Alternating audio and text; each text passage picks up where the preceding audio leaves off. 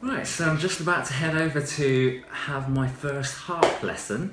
Uh, so dead excited about that, and uh, yeah, not too sure exactly what to expect, but uh, I'm sure it'll be fun um, and uh, probably a very steep learning curve. Um, not expecting too much today, really. Just gonna uh, have a feel of uh, the instrument, I suppose, and kind of learn how to do a bit of music reading and stuff like that, I would imagine. But yeah, so definitely really excited about it and uh, can't wait to uh, let you know how it goes. So I just got back from my first harp session. Uh, just met my tutor for the first time. Uh, she's a lovely lady and uh, just really kind of got stuck into it really quickly. And uh, if I can describe the session, it's just it went fast.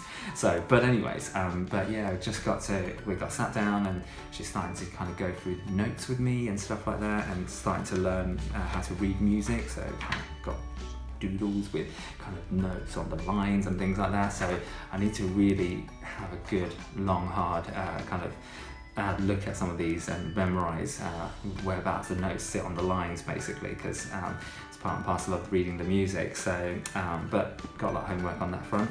Didn't come naturally to me at all. So uh, I'm just going to have to uh, plug away and, and try to uh, digest as much as possible with that one. So didn't waste much time and then went straight on to the actual harp. Uh, she sat me down, got my positioning and things like that, uh, started plucking away and she's kind of commented that I was fairly natural at doing it, so that, that made me a bit more confident about it. But uh, as she was teaching me to do certain notes and things like that, uh, and played a few kind of music pieces, um, it didn't feel too bad, but actually it's, it's, just getting the coordination from left hand to right hand was pretty tough, and actually uh, it's gonna take a long time to kind of drain, uh, kind of kind of drive that one into my head really.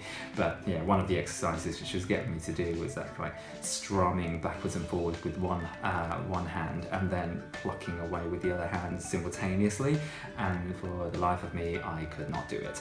Uh, it just was not happening. It was like pluck, strum, pluck, strum it was totally robotic. But you know, I'm hoping that was one of those things that would gradually come, uh, you know, through time. Um, and if I do it enough, I'm sure it will. Um, yeah, so I came away thinking that I really need to track down my own kind of harp for this now because without a harp here at my disposal, I'm not going to be able to practice at all. I mean, the gaps at a week session, you know, I'm not going to be developing at all uh, in between that week. So it really is, uh, yeah, um, kind of slow if I if I was to um, be serious about learning this. So next mission is to track down a harp, and then hopefully you know it won't cost me too much, but I know that it is going to. Uh, but it's something that I want to do in the future, and definitely something that I want to kind of be uh, comfortable doing it as I get older. And so yeah, I think this the first few bits are going to be grueling, going to be tough. So I am just preparing myself for it and hoping that uh, I will have a good uh, um, learning with it uh, and hopefully by next year I will play some good pieces of music. Maybe too ambitious, but that's the goal anyway. So uh, until then, I shall be posting more videos and we'll see how it goes.